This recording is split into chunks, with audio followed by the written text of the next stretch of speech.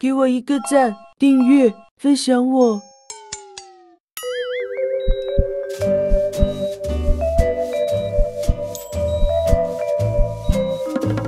飞蝇钓啊那样的一个绳索啊，大家可以看到很很类似那样的，在我们的体内也有在 在甩这样的一个呃这个绳索在我们的体内。好，请您猜一下这是哪里啊？看不太出来，这前面为什么还有黑黑的？这很像我们刚刚讲有前面绑的那样的一个呃这个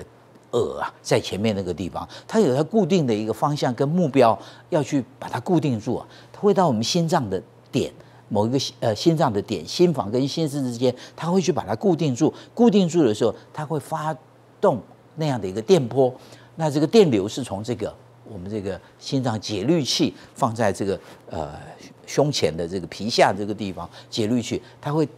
固定时间的把那个电流啊释放出去，释放出去就让这个心脏啊能够有它。固定的一个节奏可以产生出来，那所以这样的一个病人是八十几岁的一个男性病人，他出现什么样的一个状况？没什么太大的状况，因为这个改变并不是太快，所以他慢慢也有点适应的状况。再这样八十几岁，他本来活动力就相对是低的一个情形的时候，哎，一开始也不以为意啊，但是后来心跳的速度越来越慢啊，开始有点不舒服，然后给他做心电图的时候，就会看得到这个心房跳心房的，心室跳心室的。两个之间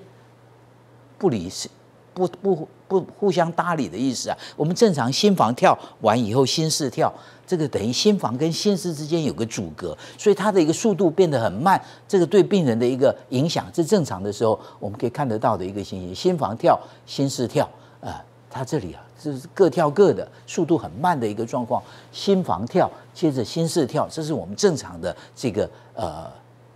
节律呃会形成的这个情形，而他是这样子啊，完全就是各跳各的这个情形啊，所以这是在心房心室之间的一个传导的一个障碍，造成这个病人速度跳得很慢，所以再放给他放节律器啊，给他放到心房放一个这个刺激点，心室再放一个刺激点，让它的一个收缩可以有效的、有节奏感的产生出来。那会不会有症状啊？有些大部分是会有症状，就是会头晕呐，啊，这甚至于晕倒的情形发生。所以跌倒有时候也要找一下原因。像这个一个